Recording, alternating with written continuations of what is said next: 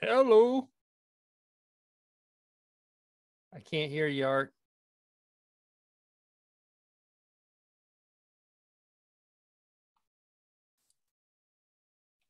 I can't, I can't, I can't hear you.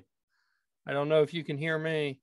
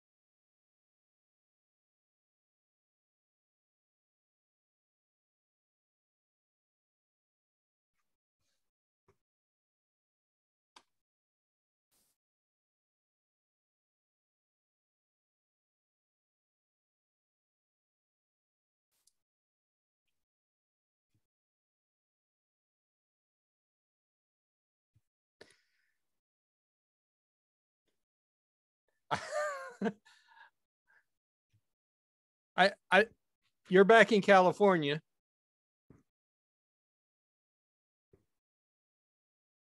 And you just got back in California. But I still can't hear you.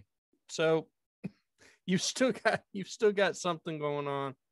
Oh wait, your microphone is muted.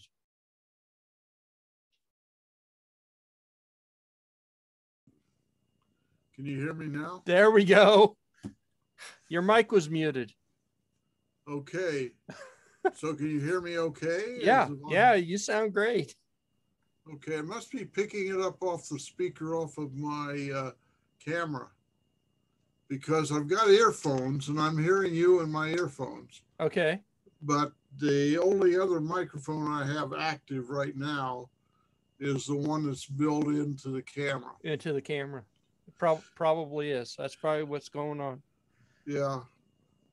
So we basically just got off the plane uh, an hour and a half ago, two hours ago. Wow.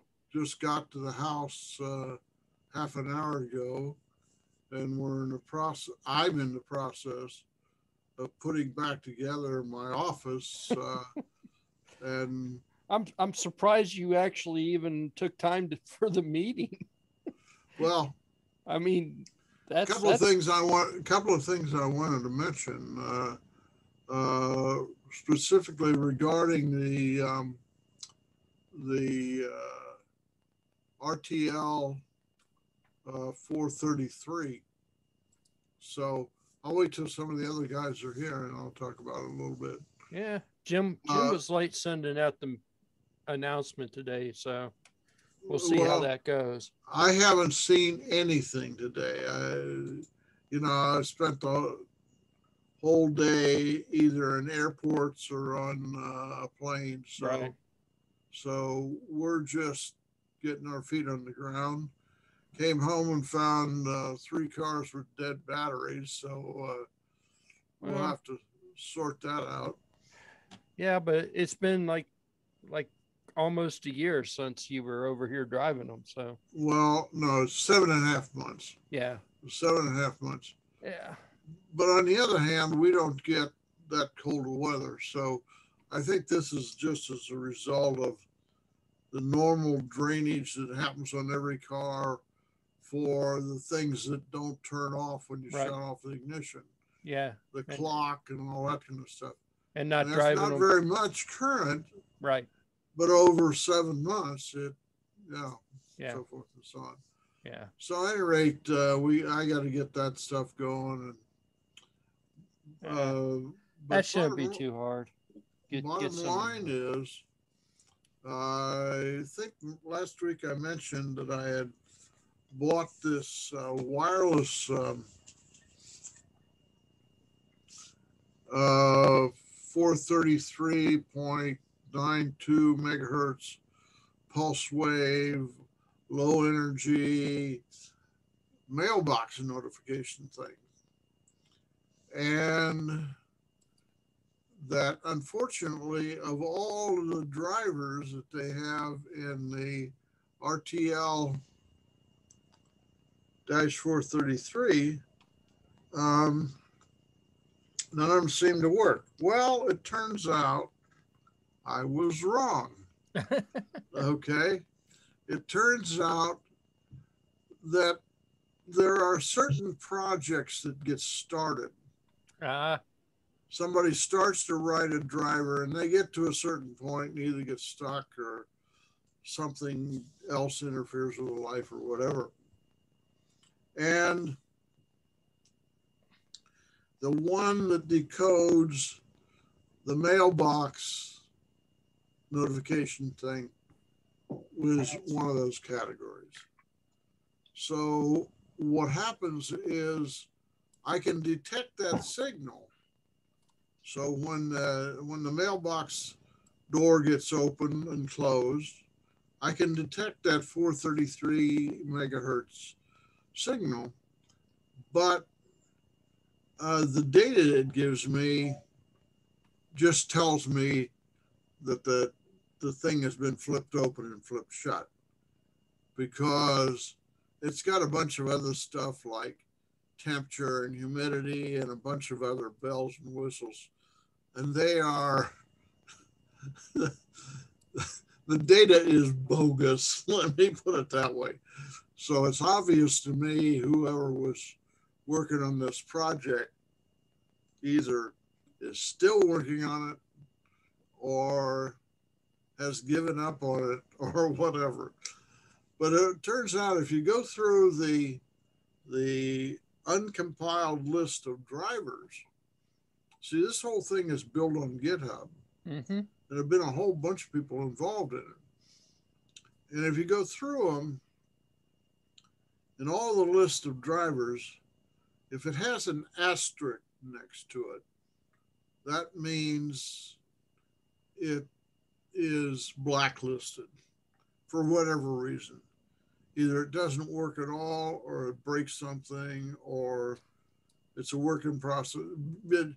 So there's a subset of these um, 183 current drivers that are not real, are not live, or not ready for prime time, or however you want to put it.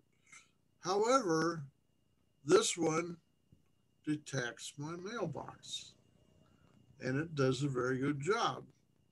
And by the way, this thing does a terrific job with the little annunciator I have in my house. Only problem is my arm's not long enough to hit the reset button for mirror and frame out. Okay. And that is one feature of the annunciator that uh, frankly I would change if I were designing it. Whereas you've got to go every time you you the, the annunciator works and you go get your mail, you then got to go back in the house and push the reset button. Yeah. And it works fine for the next time. But if you don't push the reset button, it doesn't work at all. So, anyway, so I highly recommend these 433 uh, megahertz uh, devices because they run on zilch uh, power.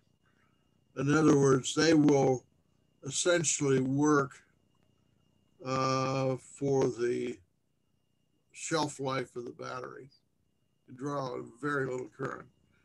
And I'm currently able to see I have in, I haven't set one up here yet, but I currently in um, Milford, I'm able to see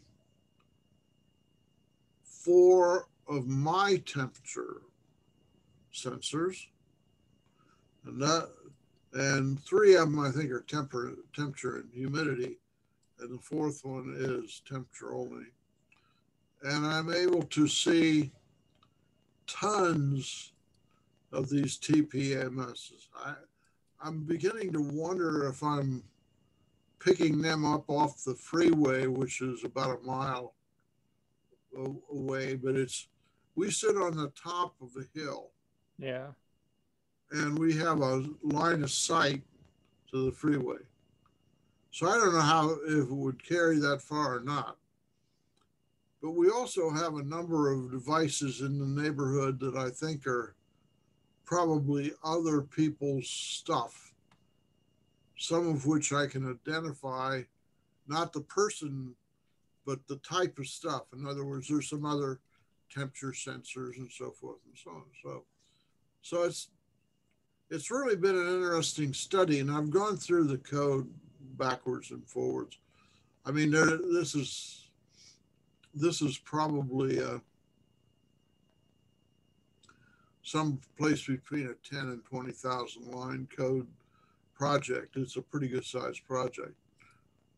Fortunately, it's been done by a whole bunch of people, and the the drivers alone, uh, each of those drivers probably has a couple of hundred lines of code, and there's 183 of those. So uh, you can see a lot of interest in this.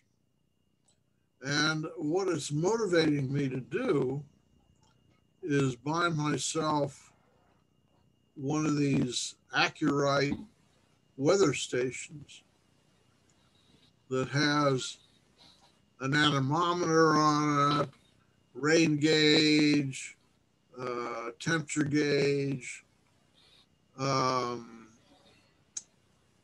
what else? They have a lightning gauge and so forth and so on. Because all of that is communicated at this 433 megahertz. So, at any rate, this project is obviously going to keep me for a while. going to keep me out of the out of uh, trouble for quite a while. so, at any rate, I'm back in Fremont. We arrived at the house about a half an hour ago.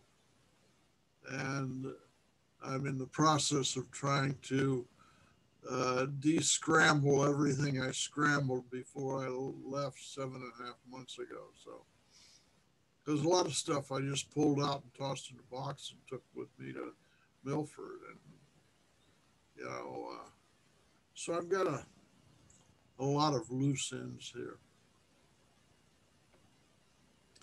So, at any rate, that's the story. Well, you heard it live from Fremont, California. and, and, more people showed up in the middle of your story. yeah. We got Jim now, and Vicente, and Mike, and Kenny. Hi. Uh, I don't see Mike and Kenny. Okay. So I got nothing about the story. yeah, you you came in right at the end of the story. Yeah. Well, this is Vicente. This is my work with the 433 megahertz um, SDR dongle. Okay. It allows me to to interpret all of these devices that run at 433 okay. megahertz. Right. And there's a lot of a lot of weather station stuff, a lot of tire pressure monitoring stuff in case you want to monitor that, and a lot of security stuff. My my um,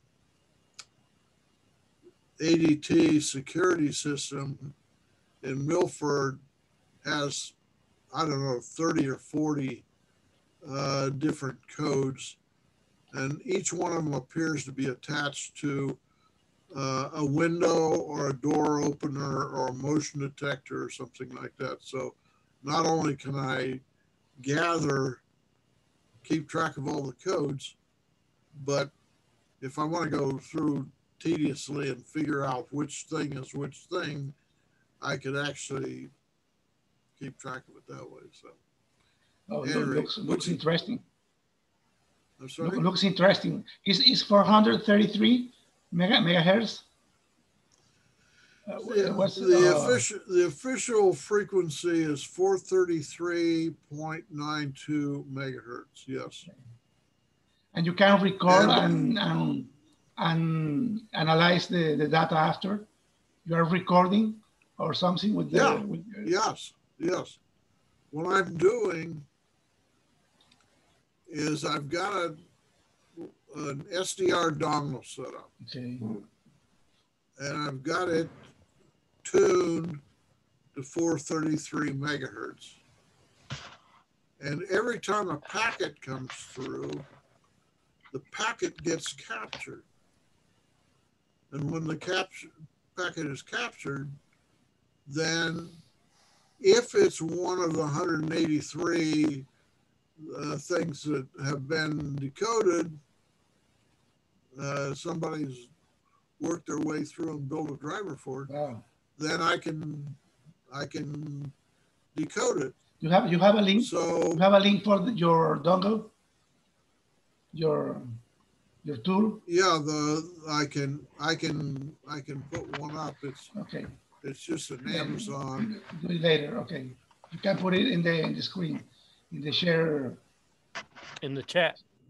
chat. Yeah, let me let me let me um let me grab that. But the key point is not the dongle. You can probably take any inexpensive dongle and use it. Mhm. The key point is Software. several different software packages okay that have been developed to decode these various things. So if you've got one controlling, I'm sorry? well on a scramble all, all the information well, decoding everything Right, exactly. It will decode all these, and it turns out the guys that are using this 433 megahertz are doing for one reason, basically, is to put in de- devices where you have very low energy usage. it's, cheap So, in other words, you can yeah it's cheap you can. Well, they're cheap also. yeah, and legal but the but they're they're cheap to build.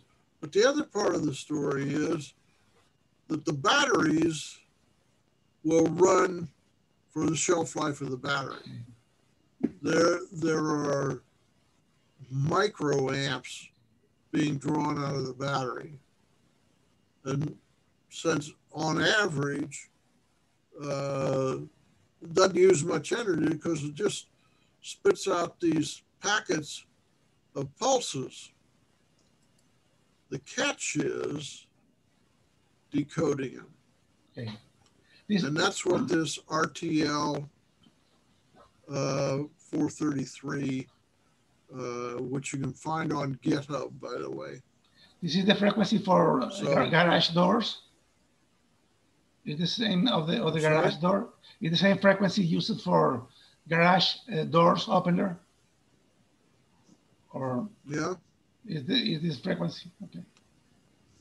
Would you like to be able to send There are, s- your there, own 433 messages? say again?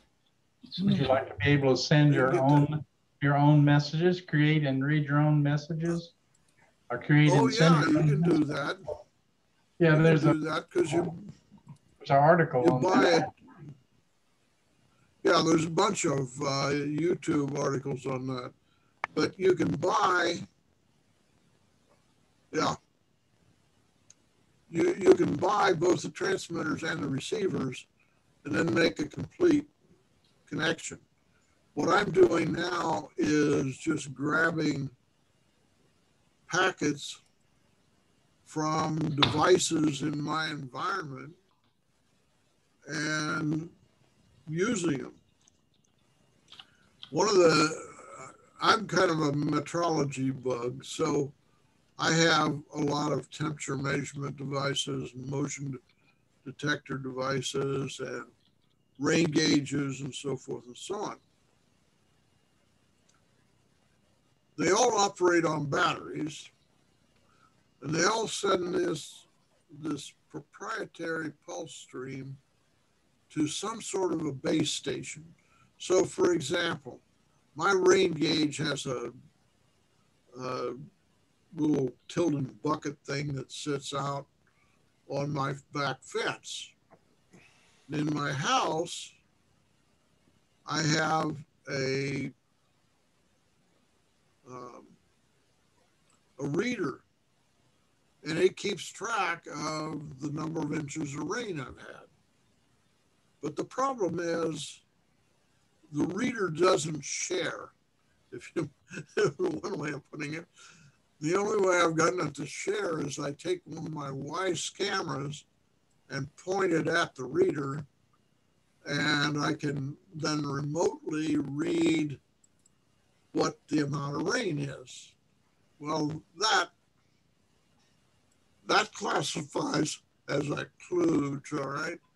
What I really want to do is gather those rain gauge readings and store them in a file someplace. And that's what I've started doing. I've started gathering the pulse streams from my rain gauge and storing it in a file where I can plot the amount of rain per day and so forth and so on. Uh, here in California, that's kind of academic these days, but um, uh, in Milford, it was quite handy. And I can do the same thing for all my temperature gauges. The key thing is that all of the people who are building these 433 megahertz devices feel motivated to set up their own proprietary protocol. Mm. So there is no standard protocol. So you've got to basically take a scope, you got to capture the pulse stream, decode it. In other words, I know 40 inches of rain equals this pulse stream. I know 35 inches of rain equals this posting. And then I have to take that and decode it. Well, this RTL 433 uh, software package, it's open source, uh, is a bunch of guys doing exactly that. And they've done rain gauges and they've done tire pressure yes. monitors and they've done uh, uh, temperature and motion and whatever. Oh, the 10 key feature. Six. I'm sorry?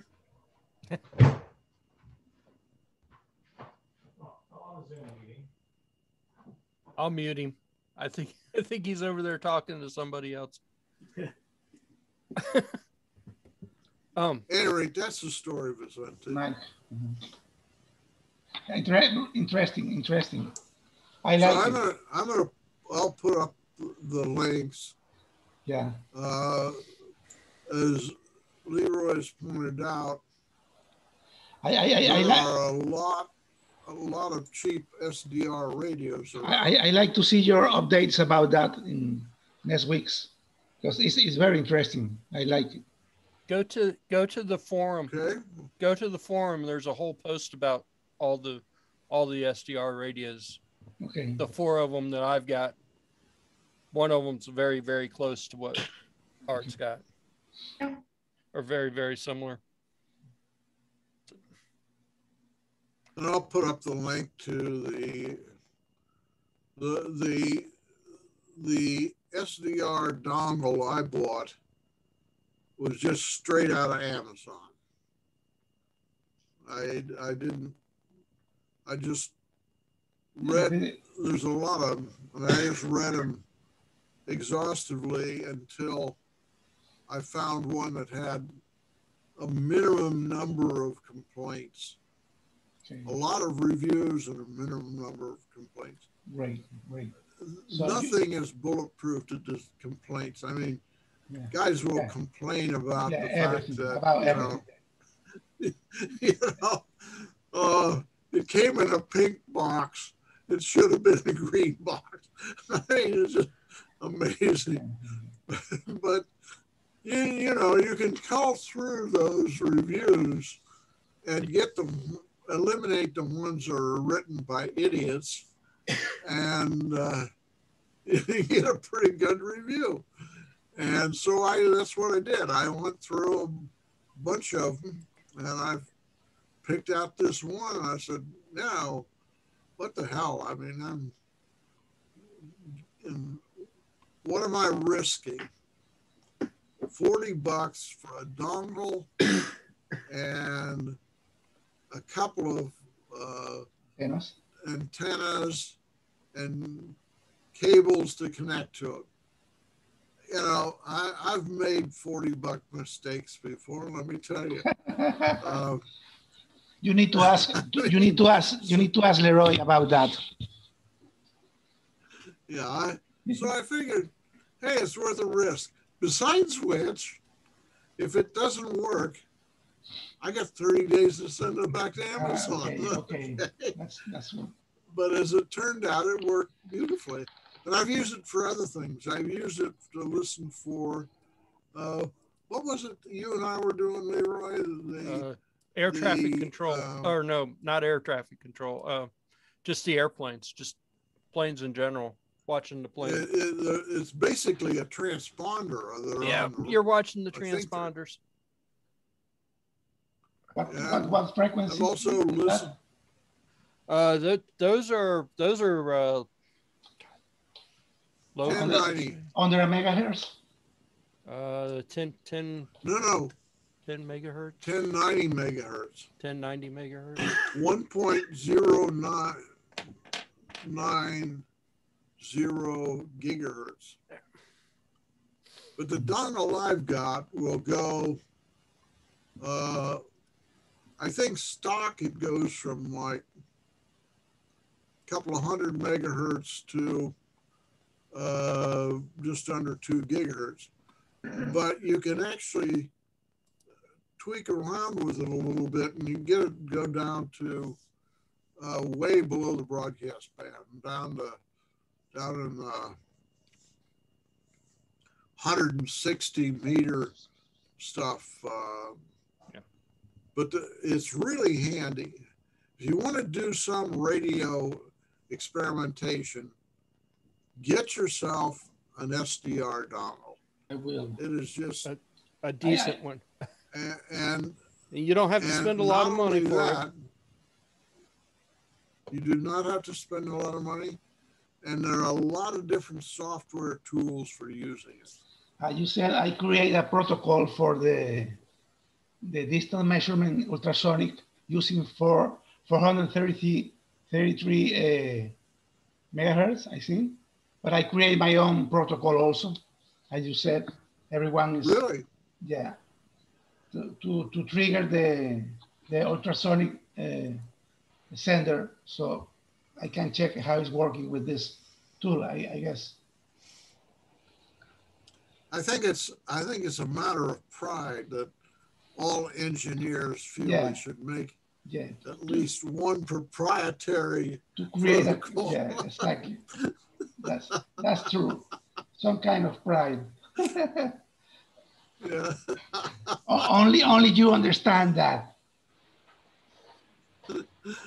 So, Henry, no, uh, and and and to Jim's question, you know, I found the bag of 433 megahertz transmitters and receivers, and I think there were eight of them in the bag.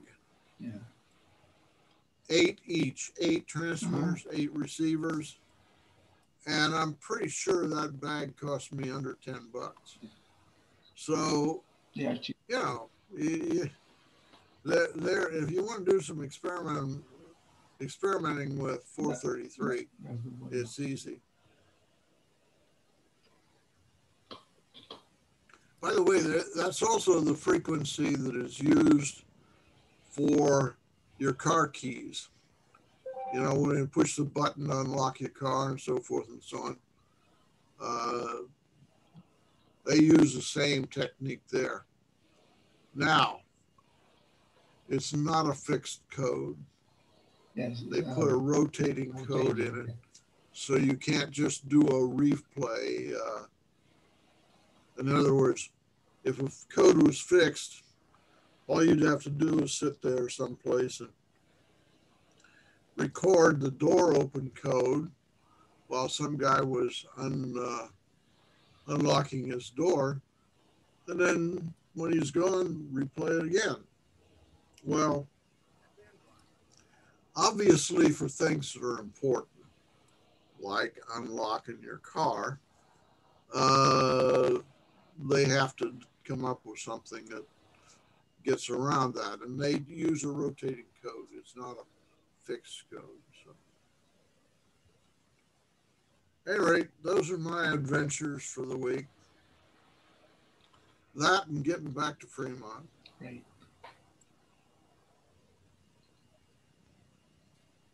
Are you back to Fremont? Does this look the same as my desk in uh, in Milford? Well, it could be a background you're projecting. Uh, yes, exactly. Exactly. I don't think. I don't think. you have, you have a, a blue, a blue, a blue screen, and you are you are faking your your location. No, I, I gotta tell you, that's the real. That's the real stuff. I can go knock some stuff off a shelf for you. okay. Now this is this is my uh, um, somewhat uh, disorganized uh, office in Fremont, California. Well, it, it doesn't. which is even more disorganized because when I was getting ready to go to Milford, I was grabbing parts and so forth and so on, stuffing them in a box to, to get out the door. So it is actually in a worse state than it usually is. and I now got to go back and undo all that and figure out what it uh, what it uh, how it should go back together. I am in a constant flux between file by pile and file by layer. so it, it doesn't matter where I am or when I am doing it. it it's it's still the same. So so my my desk Well, over the week gets piled up with stuff, and then Thursday I have to clear it off to to make sure that there's a nice background. Well, I have I have two things uh, I'd like to mention. Uh, you you probably all remember that Julie and I pick things up that people have thrown out. Uh, we picked up a tote of women's wigs, for example, twelve thousand dollars worth of women's wigs that went to the wig boutique oh really? women undergoing cancer treatment. And so it it's not unusual for us to donate stuff we find or whatever. But we found a box about three or four years ago, and in the bottom of it was a class ring. And the woman's name was engraved on the inside of it. And I tried at the time we found it to locate this woman through the high school and through a, uh, a white pages search, and I wasn't able to. So Julie found it in her desk drawer the other day and managed to find the owner of this ring who had lost it 27 years ago. Wow. Wow. And Man. the woman sent her a copy of her high school diploma to prove that it was the right person because she was now going by a different last name and a different first name.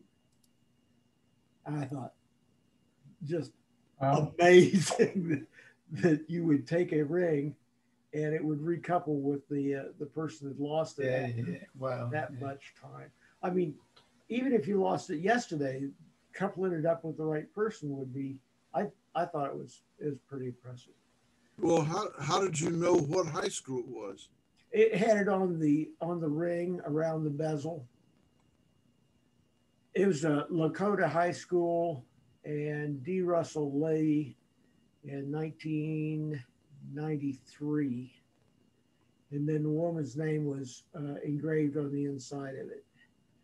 Now, how Julie cou- coupled up and found her, that's a different story altogether. It's beyond my my ability to recall that. And the second item, and it goes back to what you were saying about weather art, and that is um, we have digitized photographs from our families going back 110 years.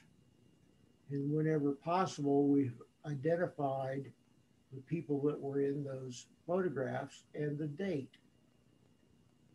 In Kansas City, we had a number of photographs that were obviously taken on Easter, but we did not know what year.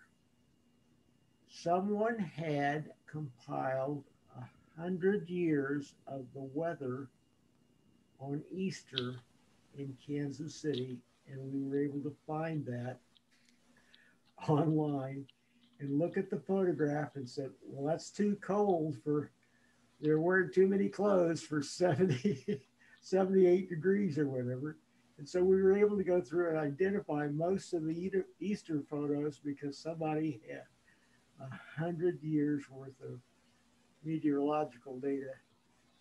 Easter's in Kansas City. Where'd you get Where'd you get the original photos from? Uh, when my mom passed away, she had she left us a box of photographic negatives, and that was like sixteen thousand photos, and uh-huh. so we went through and scanned those in, and then since then we have uh, scanned in uh, slides other negatives and photographs. So we're, I think we're at about 27,000 photographs or so now in the in the database. One of the one of the things that Julie and I still laugh about is a is a picture of a little kid. He's old, like five or six, wearing bibs. And when you turn the photograph over, it says, "Anybody know who this kid is?"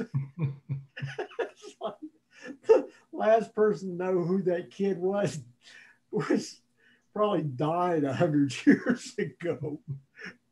Uh, but anyway, that, that's a different a different issue. That's where the the photographs came came in. Uh, we had purchased a photographic slide scanner and we could do about 200 a day with a slide scanner. And we traded that around between family members and such because uh, professional slide scanning is expensive. It's between a dime and a quarter a piece. Yeah. And what brand did you get? Uh, I don't remember the the Nikon were out of our price range. And I, I'm thinking this was something like Olympic, but I don't really remember. It's been many years ago. And then we prorated, uh, we sold it, and I thought we were going to sell it at a profit because the prices had gone up. But when you deducted uh, UPS shipping and uh, uh, fees for uh, PayPal and fees for eBay, it cost us, I think, like point triple zero one cents per per slide that we had scanned in, and we just kept track of uh, everybody who used it, how many photos or how many uh, slides had scanned in, and then uh, uh prorated it. So I think it cost me a dollar forty to scan in all the slides that I had. Now, this was black and white or color or both? Color slides. Um, if we had been able to separate the Ektachrome from the Kodachrome, the slide scanner had a utility that would have done a better job of removing dirt and uh, noise and stuff. But I had no way of doing anything other than guessing what was Ektachrome and what was Kodachrome because almost all of these were. Um, Well, it's easy if you just, if you're willing to demount the slides. Because if you demount the slides, you can see along, there's a logo along the edge of it, but if you don't want to damage the slide, then you're probably out of luck. well, this was not just Kodak film though; it was across the range. So if we got uh, a Fuji film, for example, I wouldn't know what that would be equivalent to. Uh, so we we don't have we didn't let the the computer go through and do the best job it could have of eliminating uh, dust and stuff. It was a had an infrared capability for doing that. Again, that that's been years ago that we were able to go through and and do that. That's uh, when year ago.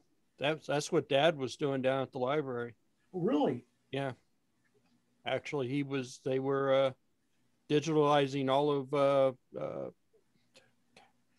thousands of archives worth of uh, George C. Crout's stuff, and some of it was, uh, you know, really good about telling where it was at and who was in the photograph and whatever.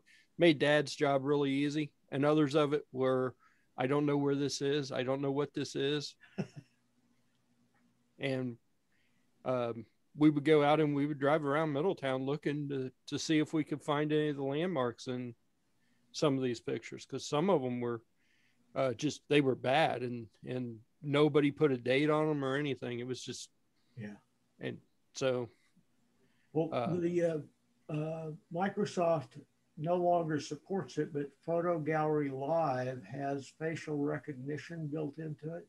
Mm. It's one of the reasons I keep Windows 7 on this machine is so that we can go back and do facial recognition. And um, it gets mistakes. Uh, a large black man showed up with my mom's name on it, and it's like, well, no, that that's not my right. mom was never a large black man. I uh, my two granddaughters, one's uh, seven and one's five, and they look an awful lot alike. And the facial recognition is always confusing the two.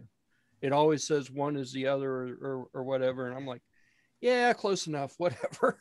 at least at least it identifies them as grandkids, sticks them in the grandkid folder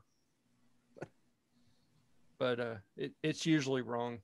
It's usually, I get you, you know, from from uh, Google Photos, you get the the little clips that they make for you, the memory clips, and one will be something about tea, and you'll be watching it, and all of a sudden, Lulu will show up, and you're like, yeah, I get it. but that's the that's the facial rec doing that. Well, photo recognition uh, will pick out if you have a, a photograph on the mantle, for example. It's sophisticated enough; it will it will look at that person on the photograph of the mantle and come up with who who that photograph really is. Yeah. Well, yeah, but dad, dad, when he was uh, working down at the library, that's what he was doing. All almost all his stuff is uh, in the digital archives on on the library's website. A lot of his stuff is there, and then he he puts when he doesn't know something, he'll put, "I don't know. Contact me if you know." This was all people's pictures. Um, George Crout was basically the the historian for Middletown for a thousand years, Uh, and he collected hundreds of thousands of pictures. Some of them were his, and some of them were other people's. His Less were than a minute, one minute.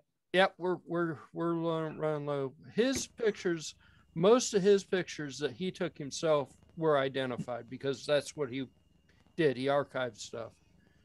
Pictures that people gave him, not so much. So, but he had there. There's hundreds of thousands, and they're not even close to being done doing it. So, all right, we're uh, we're at 15 seconds, so I'll start the next meeting here in a in a couple seconds and see everybody over there. All right, time to go fix some dinner. Hey, Barry, you're looking good, man. All right.